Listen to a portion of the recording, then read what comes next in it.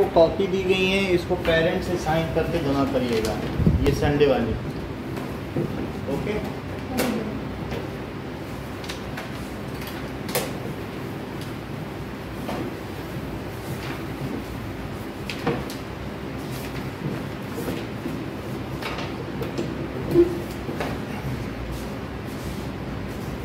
okay what do you mean by latent heat of fusion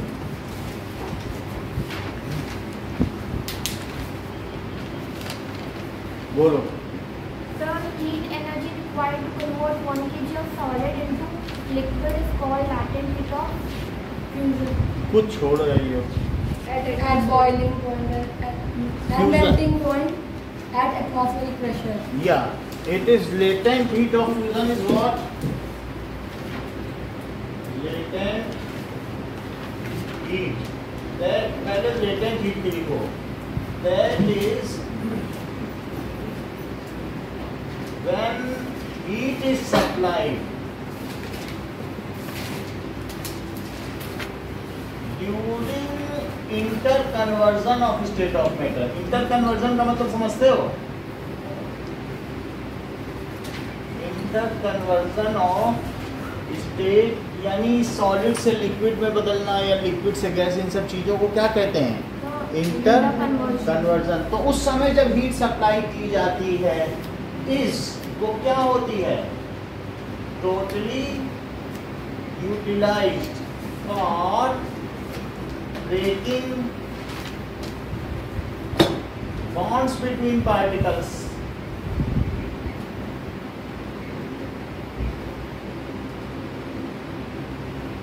and temperature does not rise does not rise this heat is called इसे क्या कहेंगे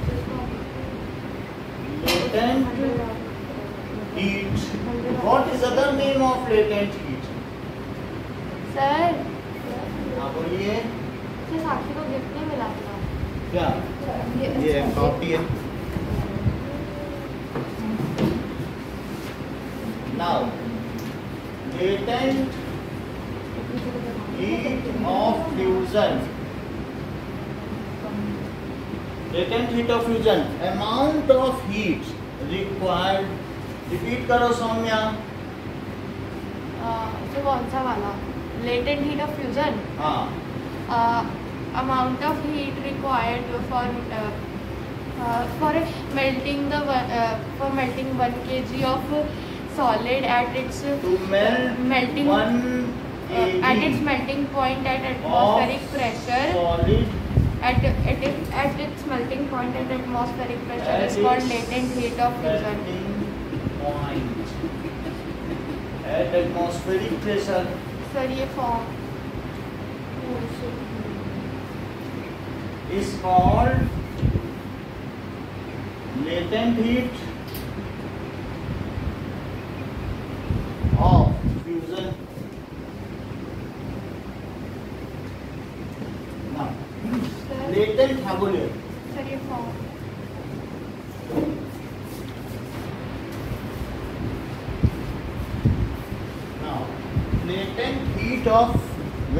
Vaporization. यानी जाहिद, अगर एक K जी बर्फ़ को हम पिघलाएँ, इससे मेल्टिंग पॉइंट पे, इसका मेल्टिंग पॉइंट कितना होता है? ज़ीरो डिग्री सेल्सियस पर। तो जितनी हीट हमको देनी पड़ेगी, उसको मेल्ट करने के लिए। Amount of heat required to melt one K G solid into liquid ठीक है? एट एटमॉस्फेरिक प्रेशर फुल में उसको ढकना नहीं है। सो so, जो भी amount of heat required that is called latent heat of fusion repeat करो रिपीट करो The latent heat of fusion. हाँ Amount of heat required to convert 1 kg of solid at its melting point at atmospheric pressure is called latent heat of fusion. latent heat of vaporization amount of heat required to uh, vapor, uh, vaporize uh, one, one kg of liquid at its uh, boiling point at atmospheric pressure is called सही latent कह heat रही of हो। uh, यानी latent heat of vaporization Arpita Yes, sir. Tell what is latent heat latent heat uh, is the conversion of is the conversion of uh, matter at their boiling point. ऐसे नहीं होता है uh, during interconversion of state, uh, it is fully utilized for breaking the bonds of uh, particles, not for rising the temperature. सही कहते हैं latent heat of vaporization The amount of heat required to convert 1 kg of liquid into gas at its boiling point at atmospheric pressure, it is called latent heat of vaporization. जैसे मैंने कहा एक KG बर्फ़ को पिघलाने में जो heat लगे उसे क्या कहोगे बोलो latent heat of fusion fuse का मतलब मेल्ट होना और एक केजी पानी को वेपर में बदलने में जो हीट लगे उसे क्या कहोगे क्योंकि वो वेपर में बदल गया so amount of heat required amount of heat required to convert 1 kg liquid into vapor at its boiling point at atmospheric pressure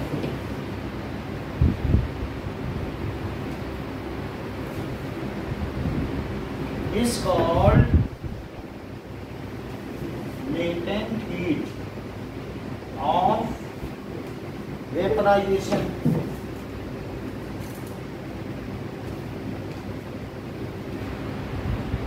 Now, what does it mean by melting point? Arpita. Yes, sir. So melting point है when so, uh, when solid get converted into liquid at its at its uh,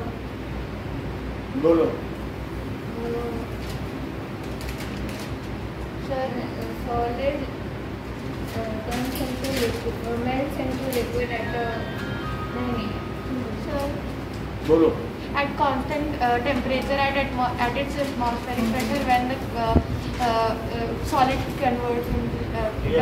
ना लगाना आपने तभी लगाया constant temperature को melting point कहते हैं। Constant temperature at atmospheric pressure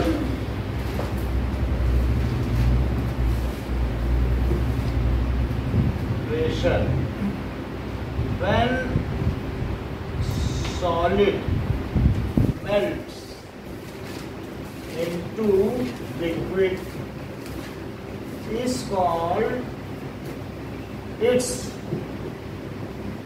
melting point तो मेल्टिंग पॉइंट आइस का कितना है zero degree.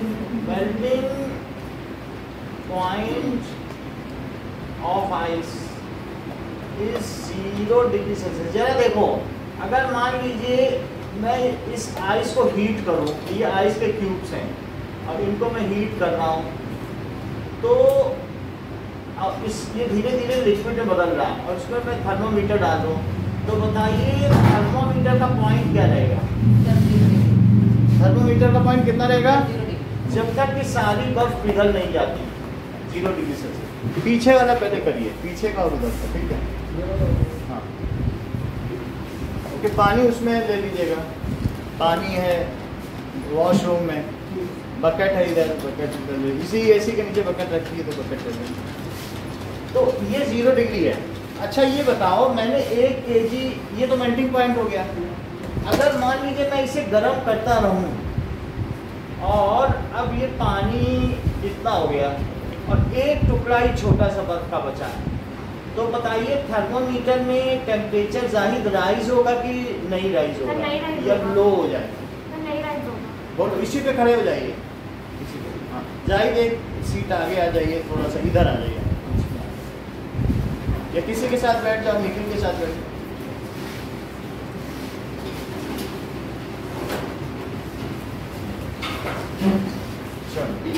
तो टेम्परेचर नहीं राइज होगा ना?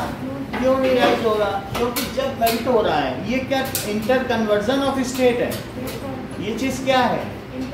इंटर कन्वर्जन ऑफ़ स्टेट तो टेम्परेचर तो नहीं राइज होगा। तो और ये खुले में कर रहे हैं तो अब इसे कैसे रिपीट करोगे? The constant temperature temperature constant बना हुआ है क्या? During which the constant temperature देखो रिपीट करना है। The constant temperature at which solid melts into liquid at atmospheric pressure यानी खुले में is called its जरा रिपीट करो थोड़ा तेज बोलो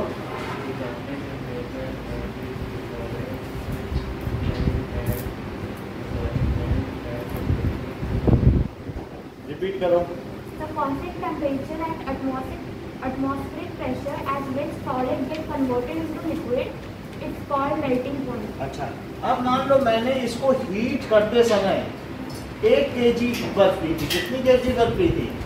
एक के जी और मैंने इसको हंड्रेड जूल एनर्जी दी। कितनी एनर्जी दी? और ये पूरी तरीके से इसमें बदल दिया। हंड्रेड जूल एनर्जी की यूनिट क्या होती है?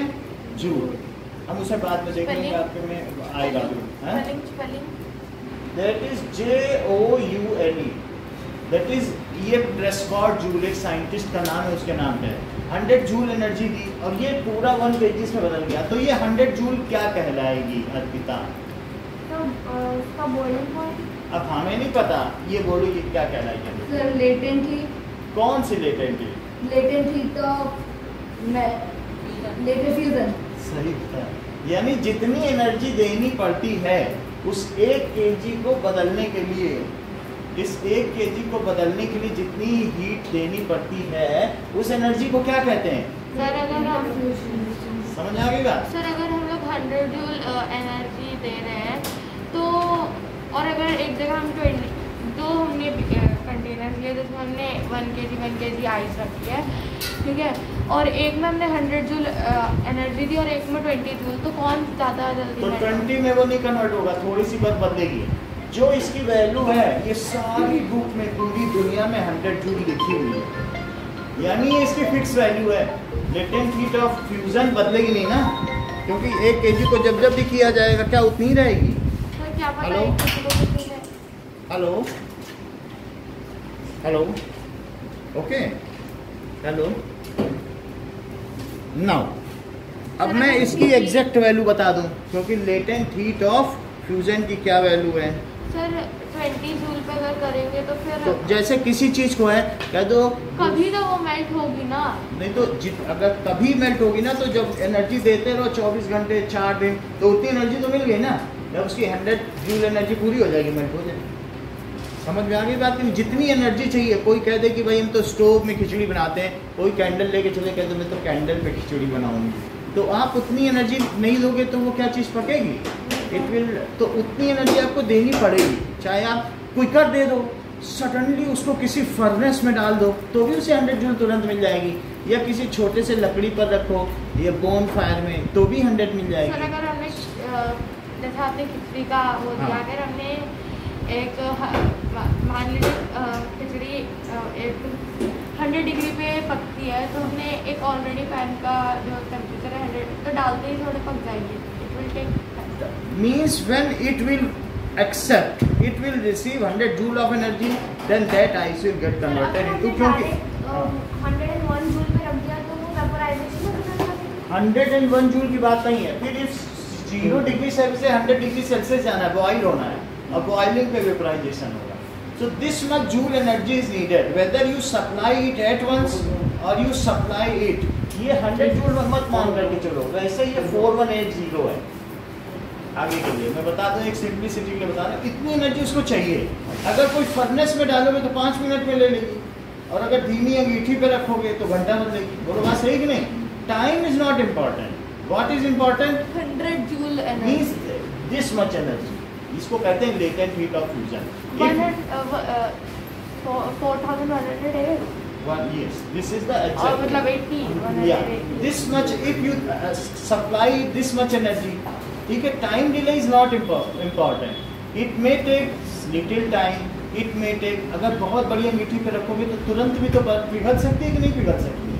समझ में आने गई बात? अच्छा अब ये जरा देखो कि मान लीजिए कि ये है तो this is boiling water and this temperature is 100 degree Celsius और अगर मैं इसको बॉईल कर रहा हूँ पानी मेरा कम हो गया, कम हुआ?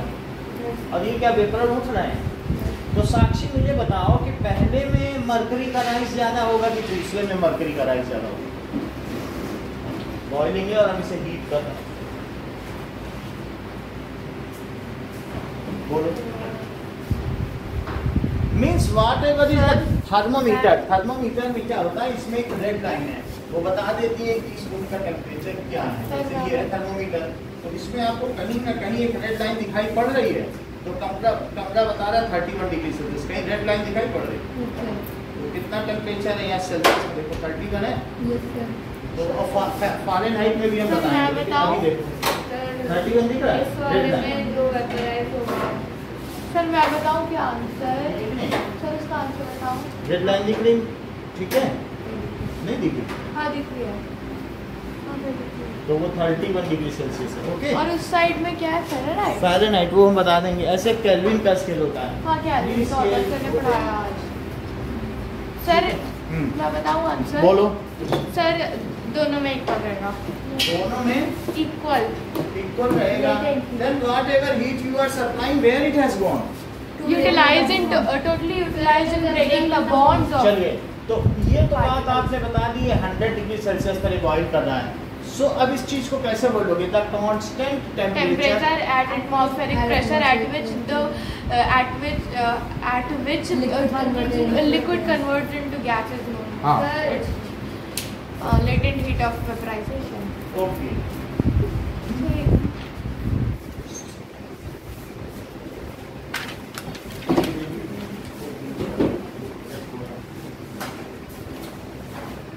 पानी नीचे आ रहा है ना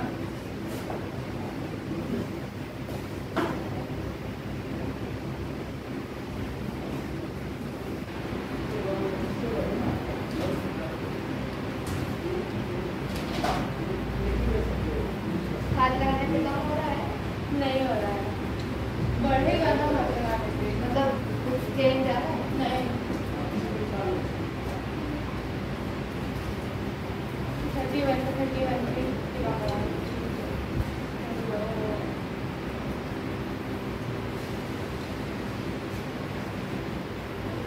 फिक्स है क्या कला की चटनी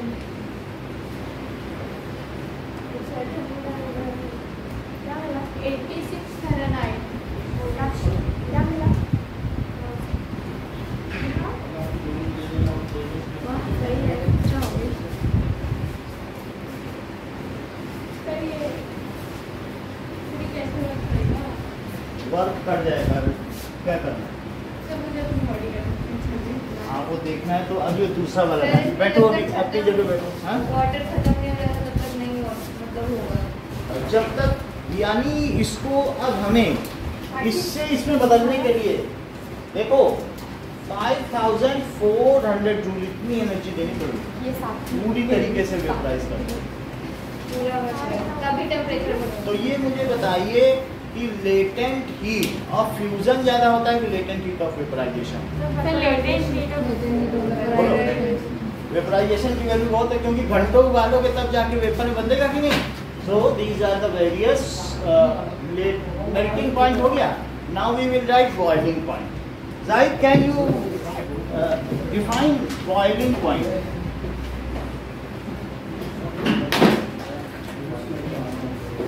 देखो कांस्टेंट टेम्परेचर ये कांस्टेंट टेम्परेचर है ना at which bulk vaporization takes place bulk का मतलब हर जगह से वेपर्स उठे constant temperature at which bulk vaporization takes place at atmospheric pressure खुले में करो।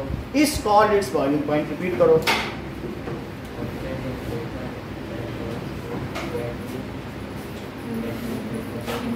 आप बोलो। Constant temperature at which bulk atmosphere. Is called Well, हाँ constant temperature at atmospheric pressure आप ठीक बोल रहे थे Zahid the constant temperature at atmospheric pressure at which जिस समय क्या हो रहा बताओ बल्क वेपराइजेशन हो रहा ना At which bulk vaporization takes place is known as boiling point. Bulk vaporization takes place. Is called boiling हमने आपको मेल्टिंग पॉइंट ऑफ़ आइस लिख दिया। मेल्टिंग अगर सोडियम क्लोराइड को चम्मच में रखोगे तो डी मेल्ट हो जाएगा क्या? सोडियम क्लोराइड नमक। नहीं। ये सही कह रही हैं कि 1470 केल्विन पर मेल्ट हो जाएगा यानी 1200 डिग्री से लिख लीजिए आप लोग। जैसा कि सौम्या ने बताया कि मेल्टिंग पॉइंट ऑफ़ सोडियम कितना सोडियम क्लोराइड सोडियम क्लोराइड क्या कॉमन साल्ट है? Chloride that is NaCl is 1200 degree से हो सकता है इन्होंने इस टेबल से देखा हो। वरना कैसे किसी को याद है? इन्होंने कैसे बता दिया इतनी आसान? वही ना सर नॉर्मल टेम्परेचर पे थोड़े हो जाएगा अब जैसे इन्होंने कहा कि इस 1200 डिग्री सेल्सियस पर नमक पिघल जाता है। ओके तो इस तरीके से अलग अलग चीज़ों पर जितने भी यहाँ सब्सटेंस है मेटल है नॉन मेटल है इन सब के अपने अपने मेल्टिंग पॉइंट ओके ना अब देखो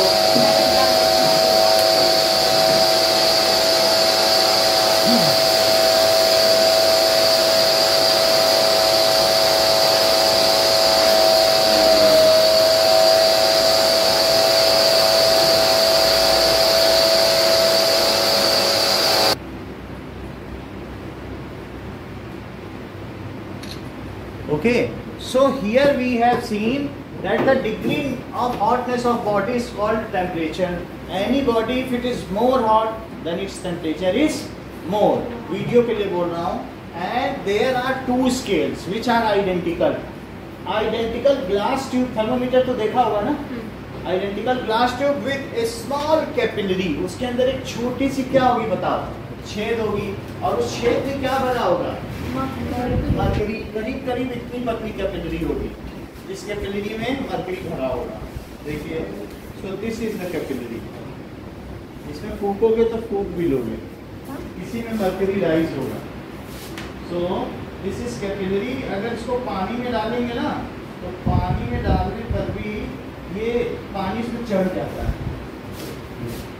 So this is small capillary rare line का है। इसके अंदर सिर्फ़ छेद कितना बड़ा है? रेयर लाइन के बराबर। नहीं दिख रहा है तो फूकने से दिख जाएगा। फूक सकते हो कोई दिक्कत नहीं है। ठीक है थोड़ा सा करके। आ रहा है? और फूकने से दूसरी तरफ़ से बिल्कुल ठंडी हवा आएगी। और पानी में आ रही ठंडी हवा? हाँ, सर एक बार थोड़ा सा पानी पे डाल पानी में डालोगे तो पानी चढ़ जाता है। सर देखिए एक बार। वो देख लेंगे। अभी वो टेंथ का है। पानी राइस कर देता है। इसी से क्या होता है? पानी गणेश जी दूध पी रहे हैं तो जो कैपिलरी होती है इसी से राइज हो जाता है। क्योंकि इसमें वाटर राइज होता है। हाँ इसी कैपिलरी की वजह से प्लांट्स में पानी चढ़ता है? हाँ। क्या प्लांट्स में भी इतनी पतली पतले वो होते हैं? हेयर लाइन स्ट्रक्चर्स उसी से चढ़ और बात समझ में आ गई? तो इसके अंदर एक और। ये नहीं ये ट्यूब ही है। ट्यूब है। ये ट्यूब भी तो है। वो वो है। समझ आ गई ना बात? तो-। अब देखो सच कैपिलरीज आर देयर तो उसमें मरकरी राइज करता है और टेम्परेचर बढ़ाओगे तो क्या मरकरी एक्सपेंड करेगा? सर इतना पतला होता है वो मरकरी बहुत ही पतला इतना ही पतला होता है। तो मुझ पर उसमें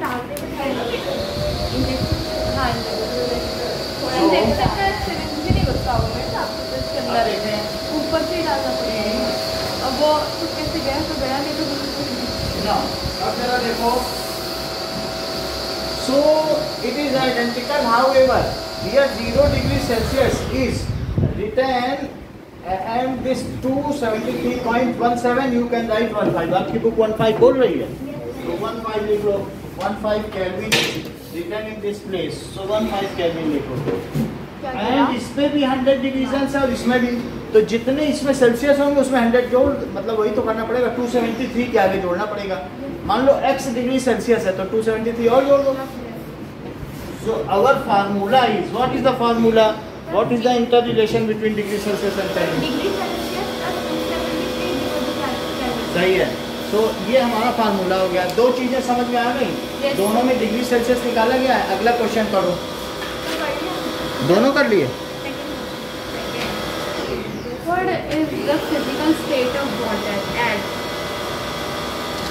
सर ये क्या है? बीच में अरे वो तो नहीं है ना। आप सेकंड नहीं कर रही अच्छा फ़िज़िकल स्टेट पूछा जाए ठीक है। तो फ़िज़िकल स्टेट निकालो।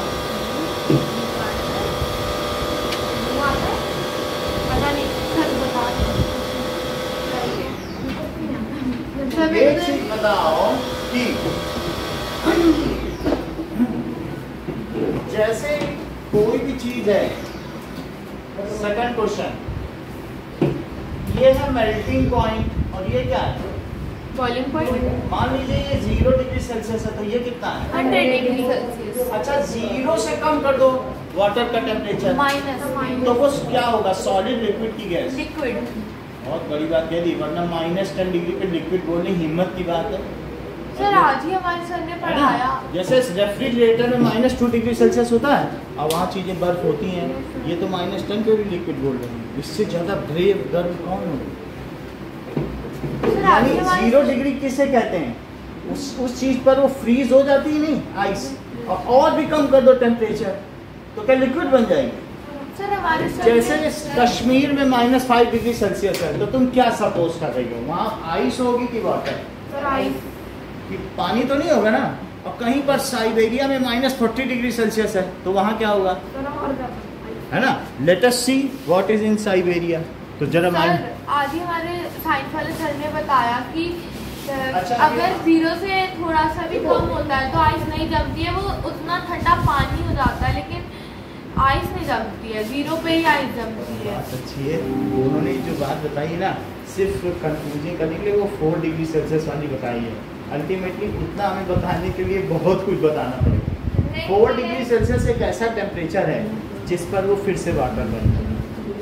सर उन्होंने तो बोला था ट्वेंटी टू तो मतलब कि अगर सेल्सियस ज़ीरो ज़ीरो से वो बर्फ़ निकालेंगे तो फोर डिग्री पे फोर डिग्री पे फिर वो हेवीएस्ट होता है। तो वो एक एक्स्ट्रा क्वेश्चन है। सिर्फ़ एक लाइन बता के छोड़ देने से तो बच्चे की समस्या का हल नहीं हो जाएगा ना? जब तक उसके सारे कॉन्सेप्ट न बताए जाए। सर उन्होंने वैसा बताया कि लाइक फिशेज वहाँ पे भी पोल्स पे कैसे सर्वाइव तो तो वो अच्छी बात है फोर तो वो। सारी बातें देखो हम भी बता देंगे। लेकिन आप सिंपली अभी we are at very primitive stage हम बिल्कुल अभी ले मैंने अनाड़ी हैं। अभी हमें सीखना है कि नहीं चाहिए तो बोलो ज़ीरो से कम होगा तो क्या होगा? फिर उसके बाद आपकी बात आएगी। पहले सीख तो लें। अगर हम बेसिक चीज़ नहीं सीखेंगे तो फिर उसके फिर जो वॉइलेशंस हैं वो नहीं सीख पाएँगे। तो वो आपकी बात हम अभी पेंडिंग में है। हम बता देंगे। ओके बात सही उन्होंने बताई है गलत नहीं बताई है कि फोर डिग्री पर फिर से पानी बन जाए। तो अभी हम क्या देखेंगे कि साइबेरिया का हाल सर फोर डिग्री पे नहीं उन्होंने अब देखो रुक जाओ थोड़ी देर। आपने अपना क्वेश्चन पुटअप कर दिया ना तो let us see all the things to understand चीज़ों को सीखने का एक सीक्वेंस है। उसी से हम सीख सकते हैं। सो लेट अस सी देखो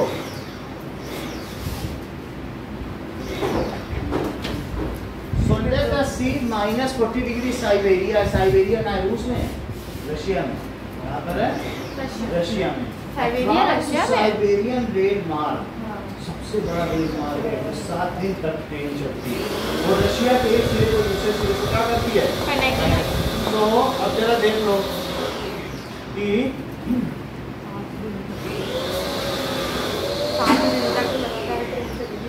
को। Life in Siberia. ये देखो, कैसे लोग वहाँ रहते हैं। तो इट इज़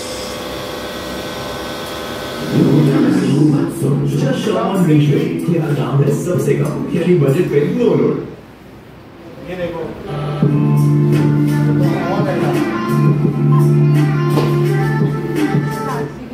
ये देखो। ये रशिया है, जानते हो ना?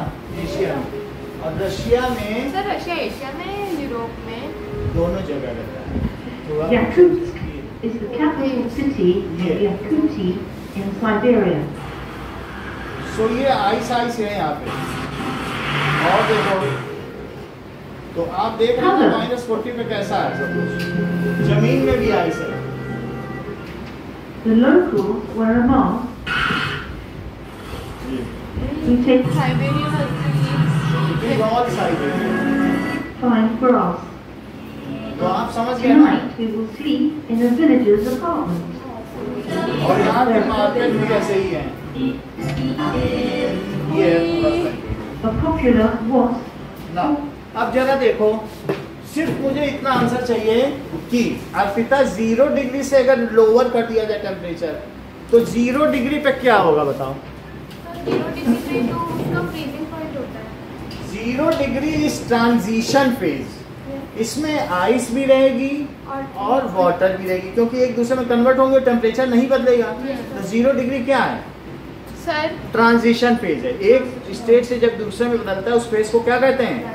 Transition phase so it is called transition phase जैसे हम लोगों का ट्रां- आपका ट्रांजिशन फ़ेज़ है। आप लोग चाइल्डहुड से एडल्टहुड में जा रहे हो या एडोलेसेंस में तो ये ट्रांजिशन फ़ेज़ नहीं है। फिर एडोलेसेंस से एडल्ट में जाओगे तो फिर ट्रांजिशन फ़ेज़ होगा। फिर एडल्ट से जेरेंटल में जाओगे यानी ओल्ड तो फिर से ट्रांजिशन फ़ेज़ होगा। तो इस तरीके से इनका ट्रांजिशन फ़ेज़ है। अच्छा तो ये बताओ इसके इधर क्या होगा?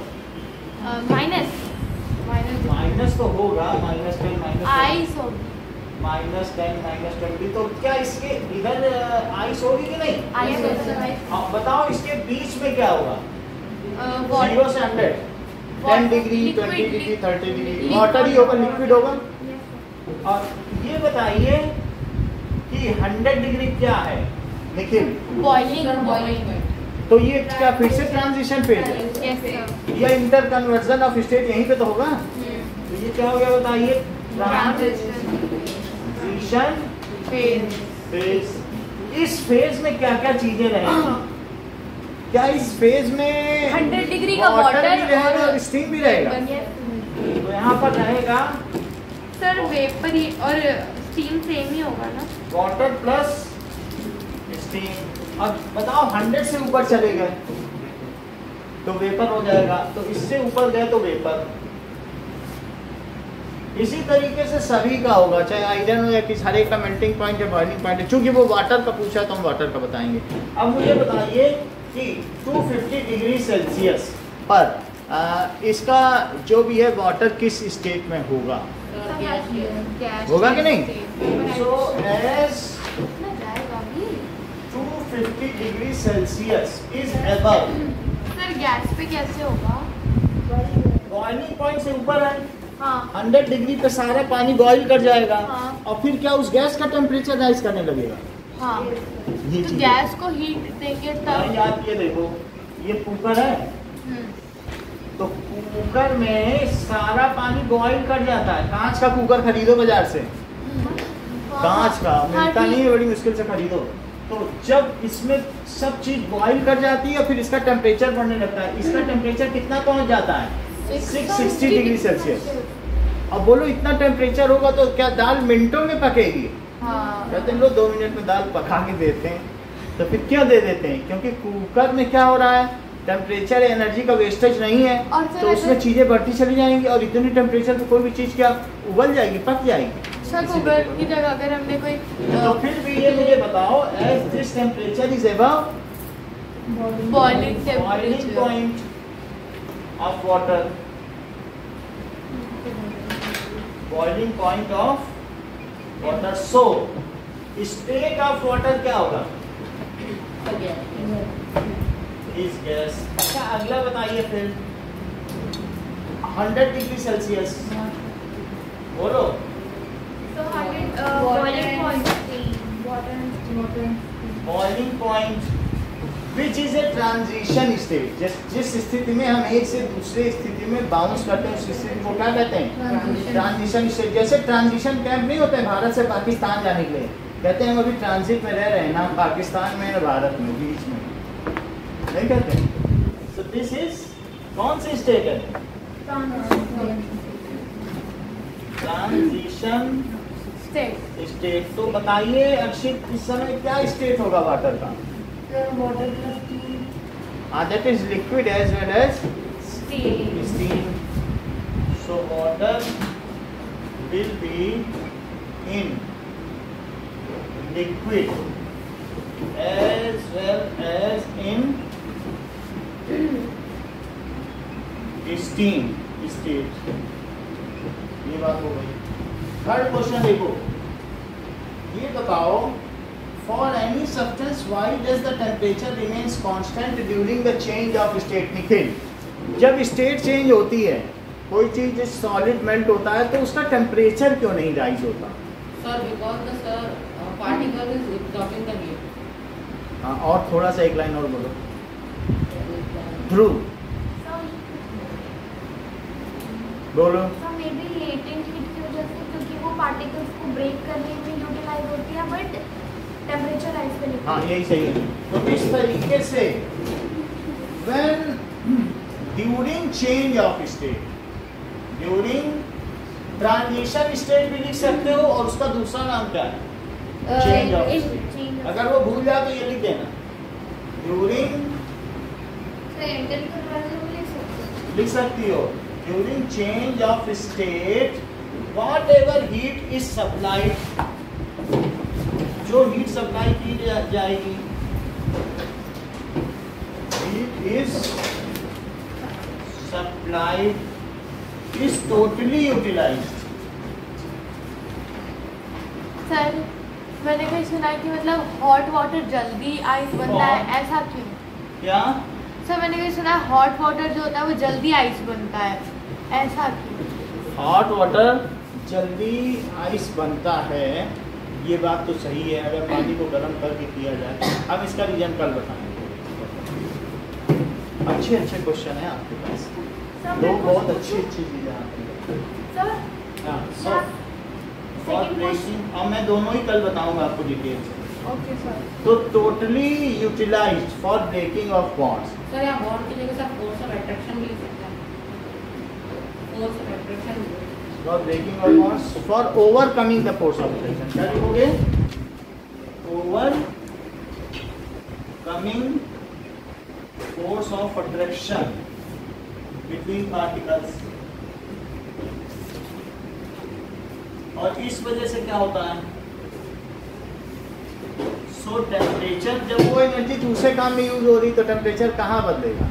So temperature does not lies अब जरा देखो कि suggest a method to liquefy atmospheric gases.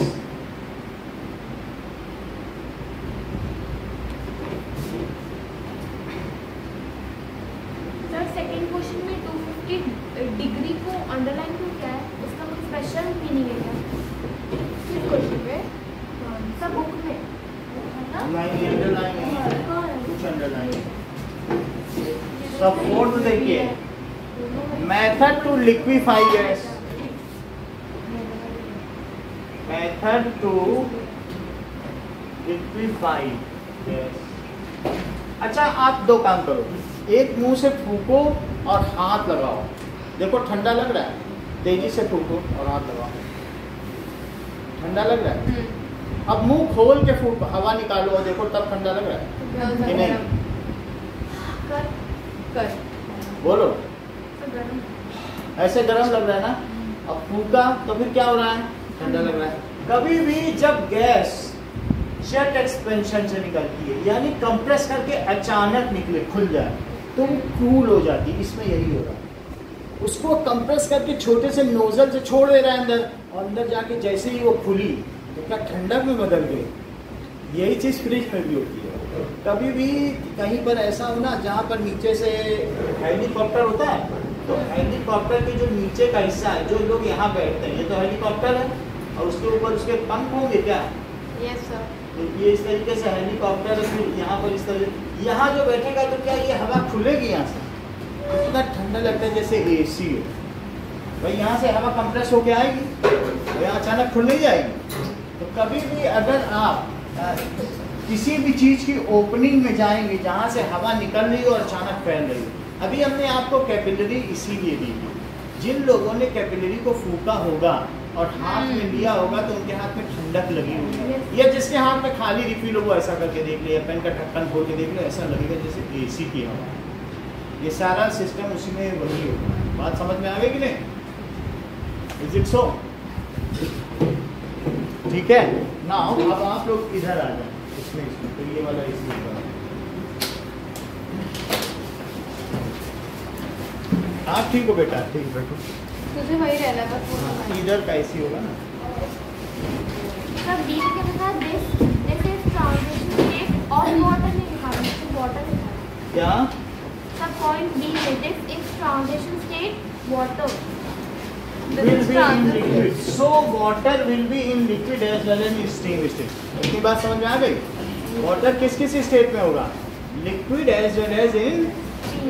Steam state अब जरा देखें अगर मैं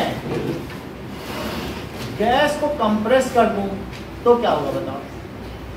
सर लिक्विड में बदल जाएगी। एक बात बताओ गैस को आप कंप्रेस करो तो गैस को कंप्रेस करते समय क्या वो गर्म हो जाएगी? नो सर हो चेक करें। कभी आपने ऐसे किया है कि लोहे की पिचकारी को कंप्रेस किया हो या जिससे हवा भरते हो? तो क्या वो गर्म हो जाती है? नो सर कूल होती है ऐसा कुछ नहीं होता है? नो सर मैंने नहीं तो us see if it is not happening. पता नहीं है। मतलब अगर आप कोई पिस्टन है और पिस्टन को हाँ। दबा दो तेज़ी से तो क्या होगा? गरम वो गर्म हो जाएगा। चाहे आप जिस पंप से हवा भरते हो साइकिल में बार बार पंप से हवा भरो तो क्या गर्म हो जाएगा? पंप गरम होगा। बिल्कुल गर्म हो जाता है सो। इन केस जब भी अभी हमने दो चीज़ें बताई आपको एक तो किसी चीज़ को एक्सपेंड करो तो ठंडा होता है और उसका उल्टा काम करो तो क्या होगा सर तो गरम। जैसे ये है मान लीजिए सर अगर हम लोग इसको हम फूक रहे हैं तो ये कितना ठंडा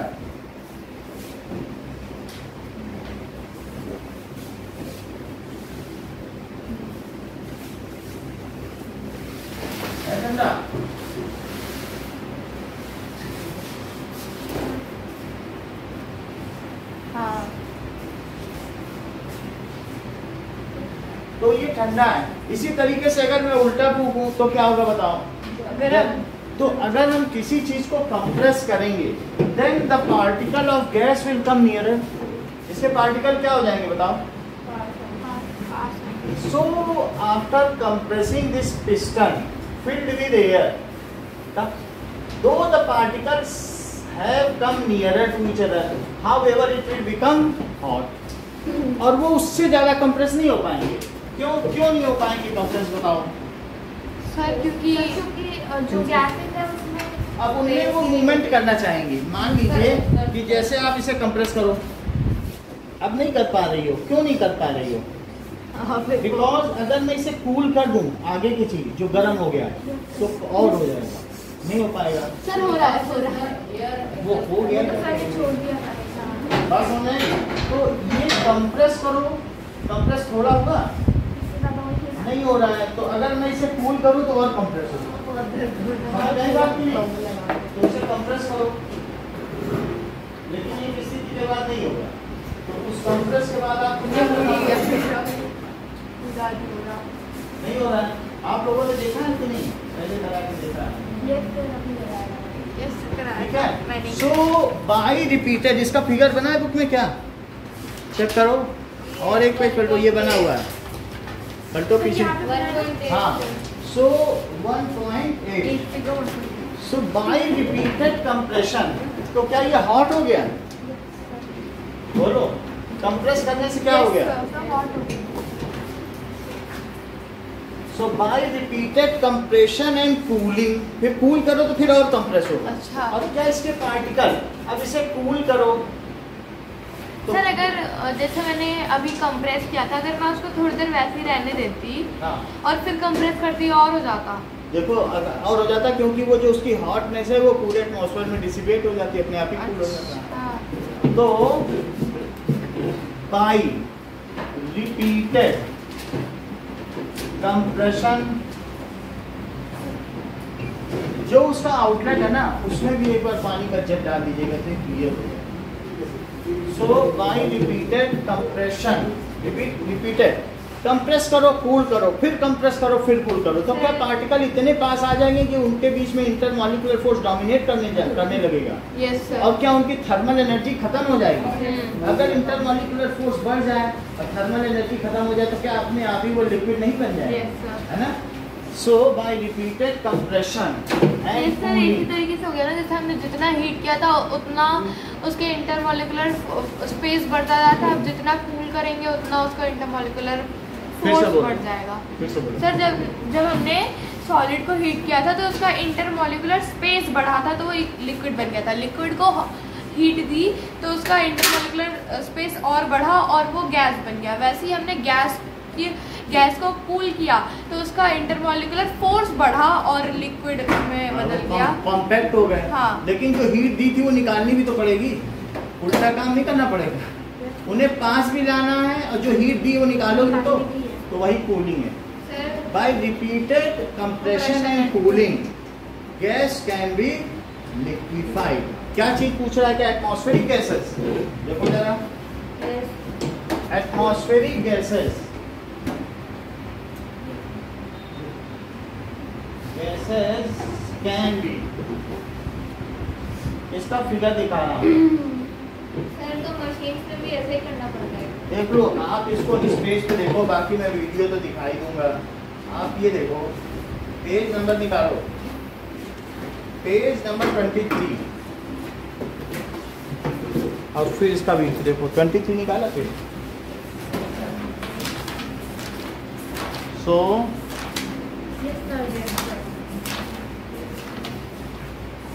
सर हमारे से बोलते कि हमारा तो ये चैप्टर जो है वो थर्ड पहले आना चाहिए और सेकंड बाद में। एक मिनट बता रहा हूँ। Separation of components of gas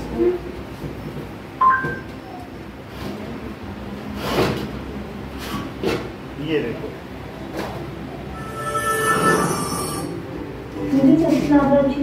लगती है बायो ग्राफिक्स जो बॉडी के पास हम पिक्चर्स में देखते हैं वो अच्छे से नहीं देख पाते लेकिन जब हम Several gases, and these can be separated by fractional तो यहाँ distillation. कंप्रेशन हो रहा है This क्या is brought about by compressing and cooling of air compress हो रहा है? and allowing it to और ये slowly वाटर है ये burn बर्फ है into उसमें fractionating कूलिंग हो रही है point. क्या Air is first passed through a filter to remove impurities like कहते हैं एयर नहीं dust फिल्टर हो particles. The third air is passed through compressors and it is subject to very high pressures around 200 atmospheres. Compressed air is passed through freezing unit where it is cooled to about minus 200 degrees centigrade. The cool and compressed air passes through a separator of carbon dioxide gas, sodium ice and a separated as dry ice. The air which is now free from carbon dioxide is forced through an expansion. So let us हाँ वही है under air conditioner ही तो समझा रहे हैं लोगों को हाँ कि किस तरीके से होता है। सो so, ये वाला सही रहेगा। इस डायग्राम को देखो ज़्यादा अच्छा समझ में आएगा। ये जरा देखो इसमें पूरी बात कही गई। आप जरा देखो। ये फ़िल्टर है। तो सबसे पहले जो एयर आएगी एटमॉस्फेरिक गैस क्या उसकी डस्ट निकल जाएगी? यस सर अब डस्ट निकलने के बाद ये आगे बढ़ी। ये क्या है? कंप्रेसर है जरा इसे खोल के देखो। ये दो बड़े बड़े पिस्टन है क्या? तो वो क्या इसे कंप्रेस करेंगे गैस को? ऐसा करने से गैस गर्म हो जाएगी क्या? यस सर तो उसे हमें क्या करना पड़ेगा जब गर्म हो? तो देखो अब ये कंडेंसिंग कॉलम में जा रही है जहाँ बर्फ़ ही बर्फ़ रखी है। अच्छा। ये देखो।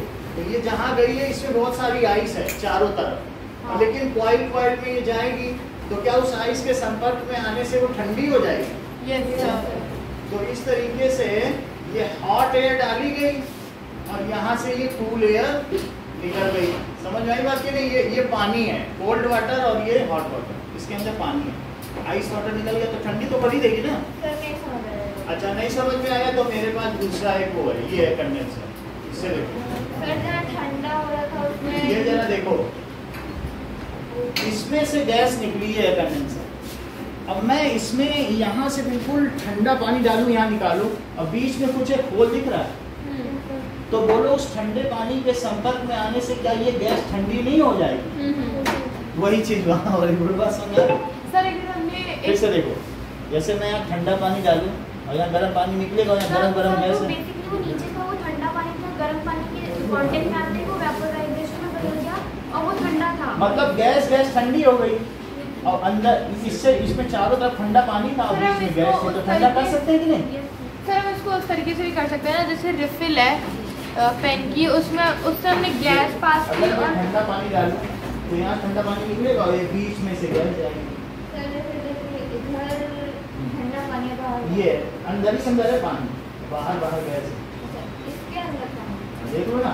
लेकिन इस केस में बाहर पानी है साफ़ करके नहीं। बाहर ठंडा पानी है, यहाँ से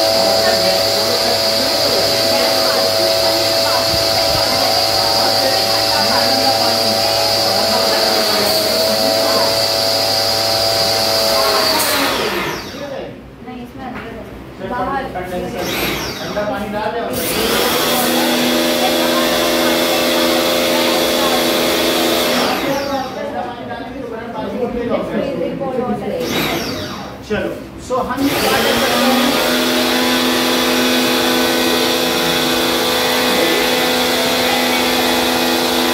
सर समझ में नहीं आया इधर से थोड़ी गैस सर नहीं ये वाटर है सर ये है वाटर ये इसके अंदर वाटर है हाँ तो गैस इसके कांटेक्ट में आने से ठंडी हो गई गैस पानी के अंदर क्यों गिरा है अंदर होकर नहीं जा रही है बाहर ही बाहर है लेकिन इसको छू के ठंडी हो गई सर जैसे ग्लास में होता है हाँ तो भाई it is a comparison in cooling. Atmospheric gases can be liquefied. ऐसा करके हम क्या कर सकते हैं atmospheric gases can be liquefied समझ में आ गया सर ये जो और ये जो बाहर है हाँ और फिर और जेट एक्सपेंशन कर लिया तो हम कूल हो गए क्या?